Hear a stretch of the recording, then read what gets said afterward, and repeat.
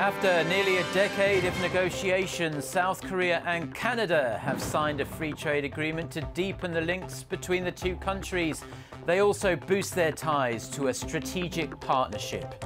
North Korea's abysmal human rights record will be addressed at the ministerial level for the first time at the UN General Assembly in New York on Tuesday local time. China is running away with the lead in the overall medal count at the Incheon Asian Games. South Korea remains in second with 14 golds.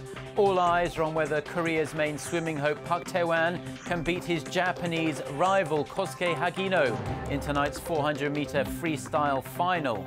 Plus, Apple smashes its sales record for an opening weekend of a new iPhone model, delivering 10 million iPhone 6 and iPhone 6 Plus in the first three days alone. We'll be back with a full newscast in one hour's time.